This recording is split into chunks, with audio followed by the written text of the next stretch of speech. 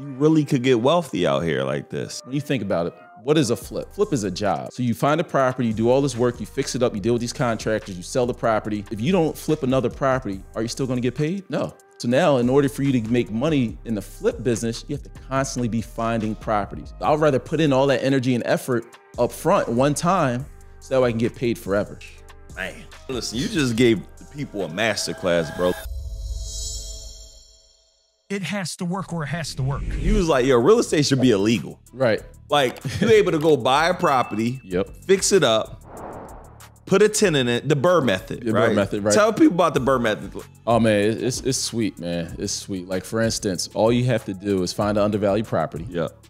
Like for instance, I think uh, Mike Morgan actually you know, ran the Burr method, Yeah. but he did it on a commercial space, Yeah. whereas a commercial at the bottom, uh, four units up top. Mm-hmm. But he found his undervalued property, right for the low. I think he got it for I don't know the exact numbers, but uh, he got the.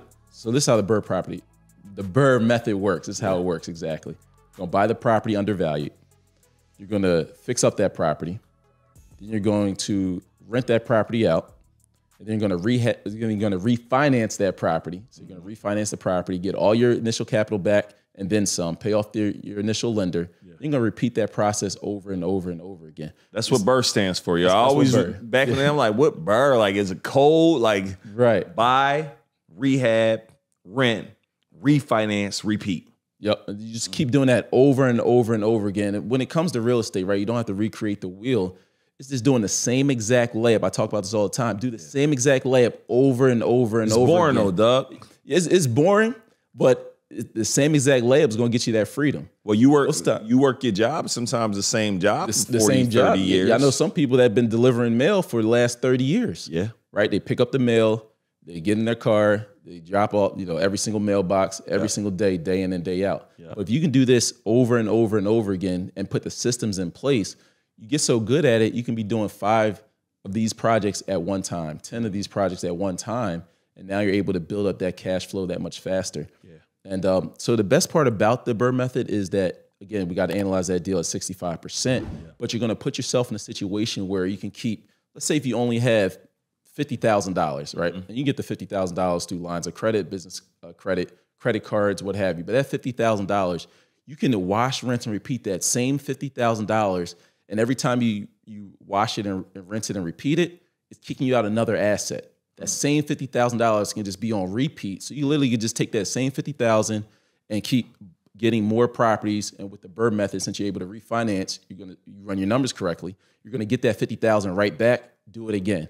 Get that fifty thousand dollars right back. Do it again. So now you're able to wash, rinse, and repeat. And I think that's one of the beautiful things that helped me get ahead and helped a lot of my students get ahead. Where you don't need millions and millions of dollars to grow your real estate portfolio. If you're able to have access to fifty thousand dollars, like for instance, uh, Ariel. Ariel's built buying apartment buildings in Connecticut, as well as a bunch of apartments in Philadelphia area, as well as single families. And where he live? Uh, where's he live? Ariel. New York, I think you said. Yeah, yeah, he lives uh, So upstate he New running York. the play from home. Yeah, he's running the play from home, and he was able to to quit his nine to five, so he's no longer hugging a cubicle. Yeah. he's he's working for himself, and all he's doing is just running the same play, the BRRR method. And you don't have to just do it on a single family, just don't have to do it on a four unit building. You know, people are doing it on 20 unit buildings, 100 unit buildings, on movie theaters, on on shopping malls. Literally, you could buy an undervalued shopping mall. It's the same 65% rule. So once you get good at perfecting that 65% rule on the single family, small multis, you can go ahead and use that same same rule, same concept to go ahead and grow your real estate empire, no matter how big you want it to be. Now on commercial, do they focus more on the cap rate, or they still do the sixty-five just the same way, like you're saying? yep. So, so one of the things when it comes to uh, commercial, they're looking at a couple different things a little differently, right? They're looking at the NOI, the net operating income. So, what is the net operating income? That's all your revenue minus your expenses. But in those expenses, the mortgage and interest rate is not included. So, we're talking about expenses like uh, your property management uh, expense, your taxes, your insurance. You said what's not included? Your mortgage. Your mortgage and your interest is not it. included in that net operating income. Yep. Because it's a way where we can compare apples to apples when looking at commercial buildings. Yep. So you got your net operating income. Then you're going to divide that by your cap rate. So the cap rate is roughly um, what buildings are selling for in that general area.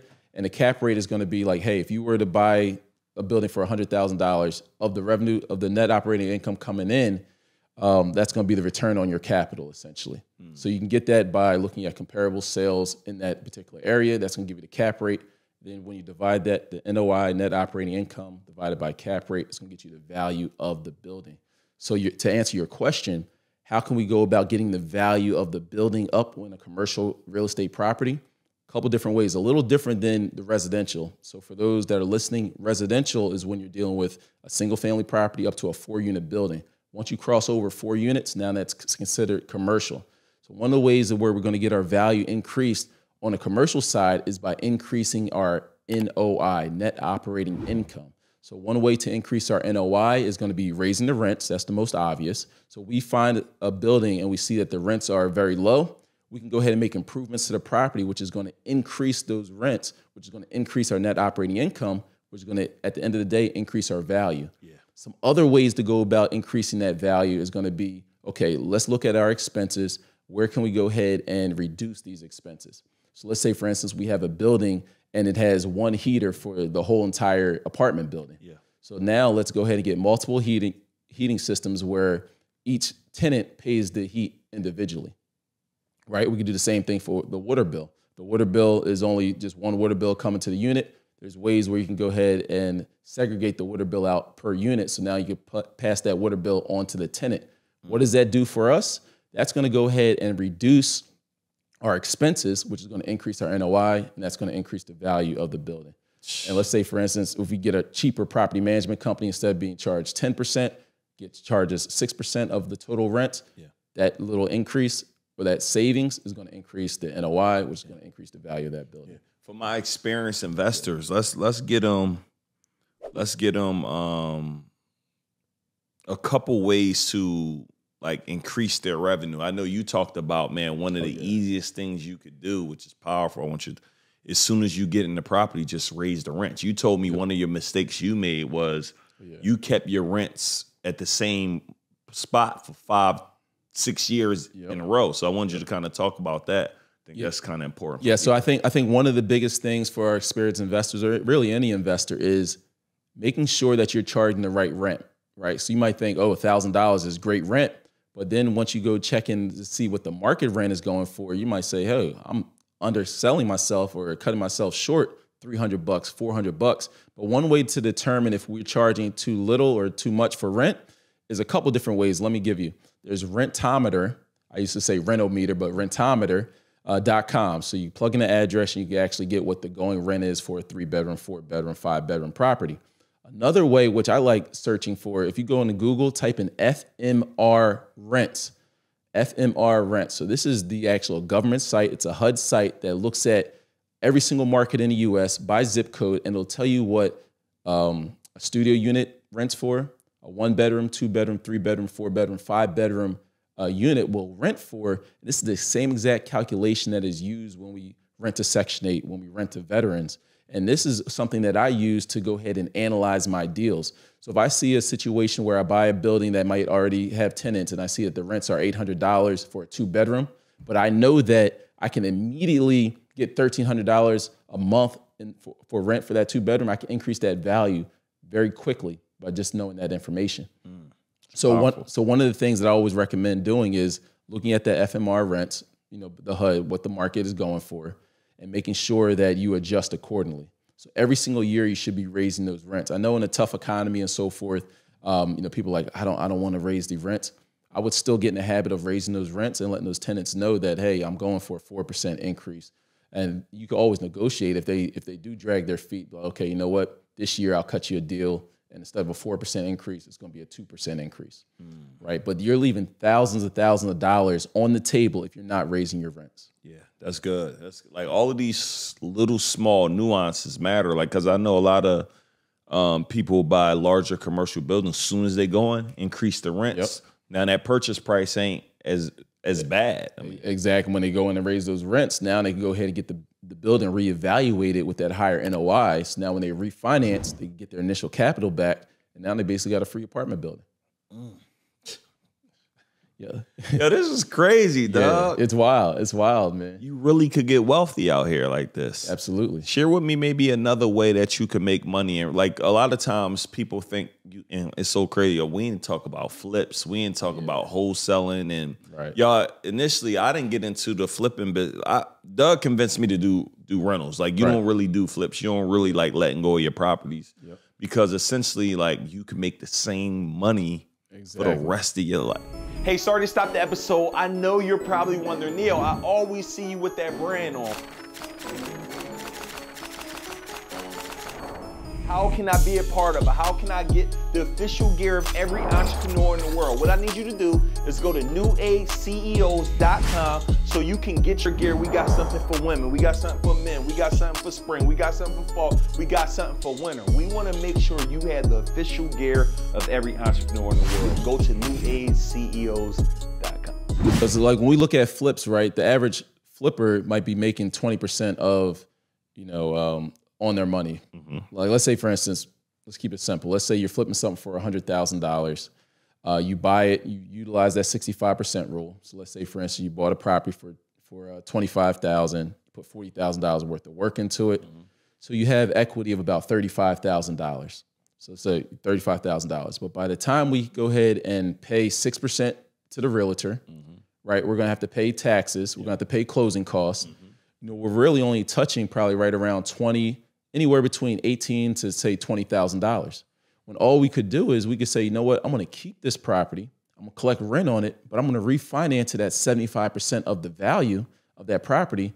So now we're able to go ahead and put in our pocket about 15,000 give or take of, of tax-free money in our pocket. Mm. Because by the time you take the flip money, you pay taxes on it, it's probably going to equal very close to what you could get if you kept that property. Yeah. So I always encourage, if possible, to keep that property and be in a cash flowing uh, situation where you can collect that cash flow. Because at the end of the day, when you think about it, what is a flip? A flip is a job. So you find a property, you do all this work, you fix it up, you deal with these contractors, you sell the property. But if you don't flip another property, are you still going to get paid? No. No. So now, in order for you to make money in the flip business, you have to constantly be finding properties. You can't take any any time off because what's it, what that's going to do is it's going to inc- it's going to kill your earning potential. Yeah. So I'd rather put in all that energy and effort up front one time so that way I can get paid forever. Yeah. And that's really what the true value is is of being a buy and hold real estate investor. Yeah. Right? Is we're playing the wealth game here. The flip business is nice, you get quick cash and so forth, but you're not playing the wealth game. Yeah. You still got to go ahead and find the next deal. Yeah. You're only as good as your next deal in the flip business. Tell me about the Section 8 blueprint, bro. Cause I oh, know you literally you've you need to create something called the Section 8 Bible. Like you figured it out, but it's so funny. There are a lot of undereducated people, me being one of them back in the day, was don't rent the Section 8, they'll destroy your stuff. Yeah. You don't want to deal with those type of people. Yep. Like they're not like they're they're just like us. They're- Yeah. Anybody could be on Section 8, right? So kind of I want you to break down like I think it's amazing program, Yeah. right?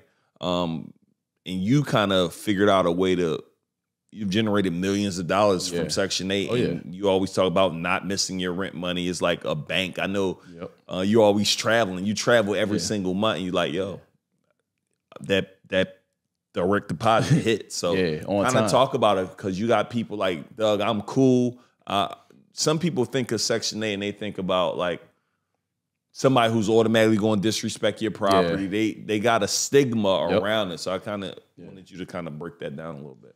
Yeah, for sure, for sure. So right now, just kind of break down. You take a you know step a little higher. Right now, there is a shortage of affordable housing. There's people that literally cannot afford a roof over their head. So there's programs such as Section Eight that give these people uh, some help. Right, everyone needs uh, some help. They need a roof over their head. So with Section Eight, they're actually subsidizing housing. They're subsidizing the payments where the government will actually pay the majority of people's rent just so they can have a place over their head, right? Because the government doesn't want people and families, women and children just in the street, you know, living in tents. They want to provide people with a safe place to live and grow and work. So with Section 8, it's been around for years and years and years. But what I like about Section 8 is the fact that they never missed a payment. So during the pandemic, you know, during the recession, during you know government shutdown, they still were paying. Mm-hmm. So now we're in a situation where okay, we got you know, in the game of real estate, the biggest fear that people have is that are they going to get paid? Right? Are, are the tenants going to pay them?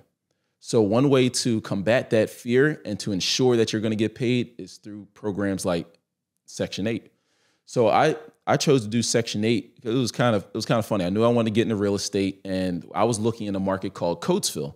And my cousin Marsha at the time, she had a property right there in Coatesville. It was a huge four bedroom, uh, two bath property right, you know, right next to the park. I said, and she was like, "Hey, cuz, guess what? Guess how much I paid for this property?" She said, "Like two hundred dollars." I said, "How are you renting this whole property out for two hundred dollars? Like, what type of scam are you running?" So, oh no, no, it's no scam. It's Section Eight. The government will actually pay the remaining of the rent, and I just have to come up with two hundred dollars. And guess what, cuz? If I lose my job, they'll go ahead and pay the two hundred dollars for me. Mm. I said, man, that's that's sweet for the landlord, Yeah. right? So when I bought my first property in Coatesville, I said I'm gonna do Section Eight. So I went through the Section Eight class. It was just a, a you know one day training for this one, one day training, very easy. And they just want to make sure that the property is safe, it's livable, there's no hazards going on, and that you have your rental license, you're up to date on your taxes.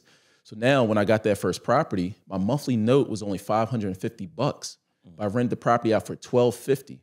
Now, you know, that was years and years and years ago. Now that properties were being rented out for 1,650, just to show you how rent increases. But guess what stayed the same?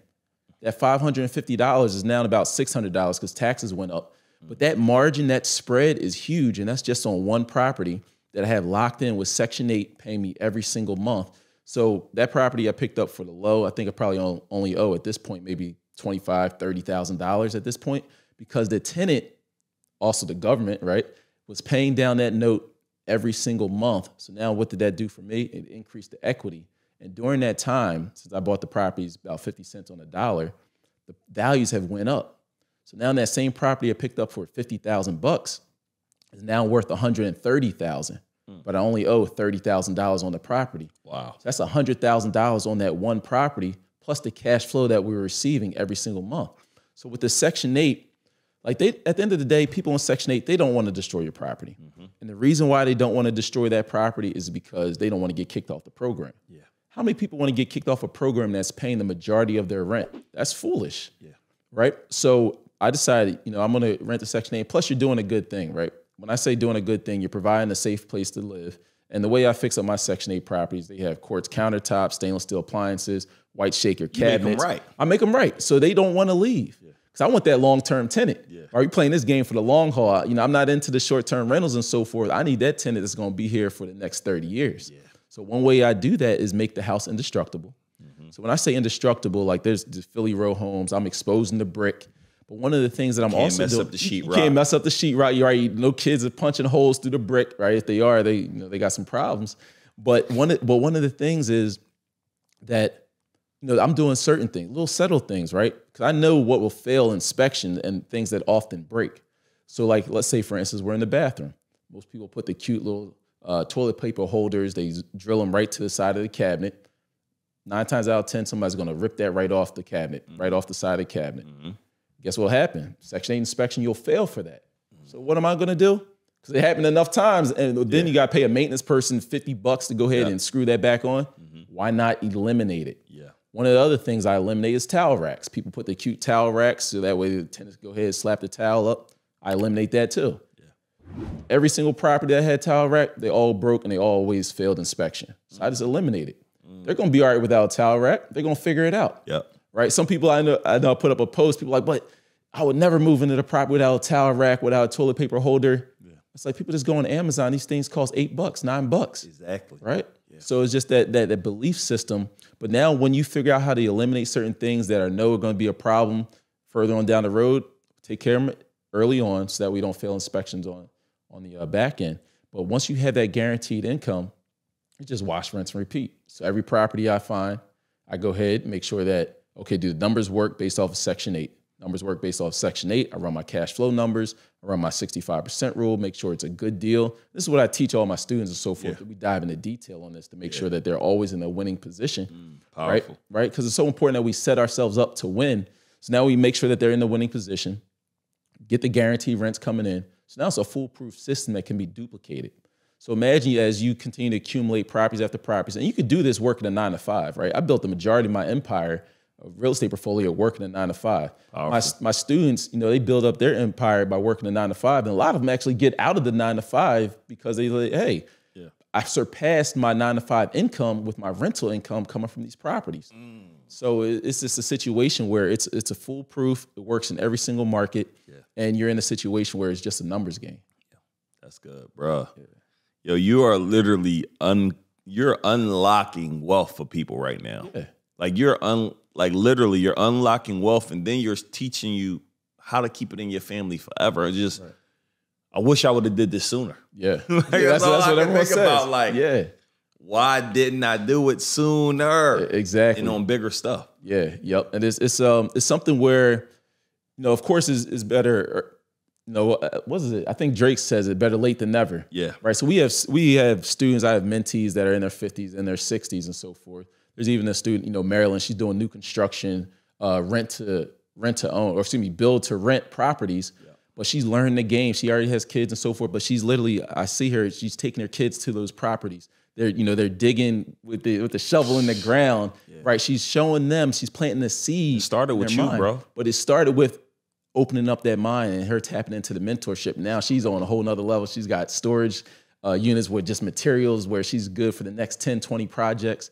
Like she's growing tremendously. It just it just brings it back to it all starts with one person, bro. And Yeah. you help hundreds of people get in, probably thousands, excuse Yeah, me, thousands of get into the game, bro. It's just the power. Ed Mylett talk about the power of one. Yeah. Most people are one opportunity, one play, one resource from changing their entire life. But 100%, I believe everybody needs to add the, the real estate toolkit. Oh, yeah. Like you got it. Like I don't You care about the met. All of the stocks is good. NFT, my NFTs is down right oh, now. Oh man. I'm, I already- don't I already know you- you're I spent two hundred and forty thousand on On, on, on an eight picture. My. Sore That- subject. Sore That subject. that John worth probably like oh, thirty thousand Oh, right now, and it may look. come back. Right. But what if I would have bought a building for two hundred and forty? I don't think anything can happen in the world where the building will lose Yo, listen, that eighty build- percent of its that, value, That, build, bro. that building's not going down to zero. I was talking to one of my one of my friends also in real estate. Yeah. Right. They had a fire. Building burnt down to the ground. This is a building they bought for hundred thousand dollars. Mm-hmm. Guess how much? Guess what size check they gave him to rebuild this building? Three fifty. Four hundred thousand dollars. Wow. He's like, listen, I'm not even gonna rebuild the building. I'll take the four hundred thousand, flip it, and buy some more bricks. Hey, thank you so much for tuning in this episode. I hope you're getting extreme amount of value. I want you to go ahead and comment below, share with me your biggest takeaway. In addition to that, my number one goal is for me to be able to grow all of my social platforms so I can give you info, insight, strategy, and game from every platform there is. So take a minute to follow me on Instagram at Neo Daviso, same exact name on Twitter, same exact name on TikTok, and follow me on LinkedIn at Nehemiah Davis. I would love for you to be able to be tuned into my articles and everything that I drop relating to helping you get to that next level in your life. Tune in. So so there's ways where like when I was getting started in real estate, people always came with these excuses, these reasons. They're like, well, what if the building burns down? All right, well, that's why I have insurance. Mm-hmm. What if the tenants don't pay? All right, that's why I have guaranteed rents coming in from Section 8. What if the sewer line breaks and you got to pay $8,000? Okay, that's why I have the sewer line insurance, which will cover it for $12. Right? There's there's these people that are going to come up with all these reasons, all these excuses to why you shouldn't or why you can't right? You have to go beyond that. But a lot of times people stop right there when people asking these crazy what if questions mm-hmm. because they don't have the knowledge. Once you have the knowledge, now you have the skill set and the tool set to overcome any challenge. Yeah. But one way to get the knowledge is by plugging into somebody that already has the experience. Yeah. Once you plug in with somebody that has experience in something you don't know, you could bring it to them. You say, "Oh, this is all you have to do." And just with by having that knowledge, you're able to execute. You're able to add value. You're able to be in a situation where you're building your empire and getting those cash flowing assets.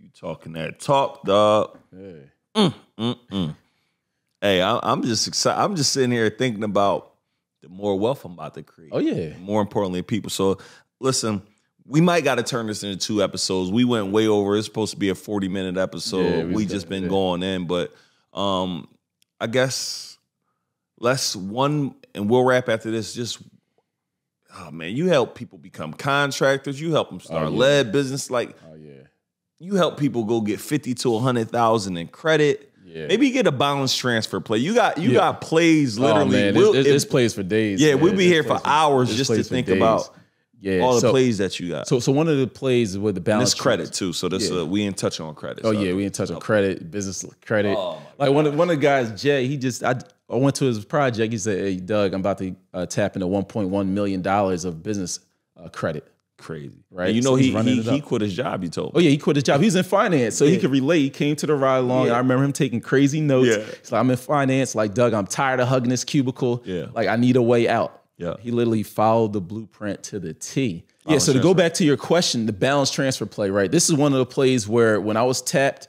I'm talking about I had all my cash with that project that I, you know, was going out of pocket, dealing with the contract on that first huge, you know, full out renovation.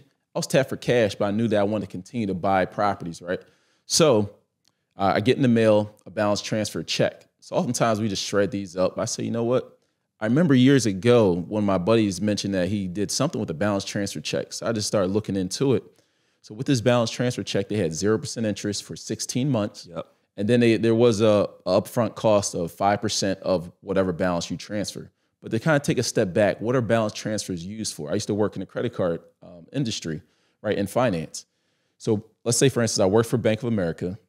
And let's say you just apply for a Bank of America credit card. So we say, congratulations, Neo. We, we have this uh, Bank of America credit card. Your limit is 25000 But let's say you already have a, a membership with Chase. You have a Chase credit card, say for $25,000. Cool.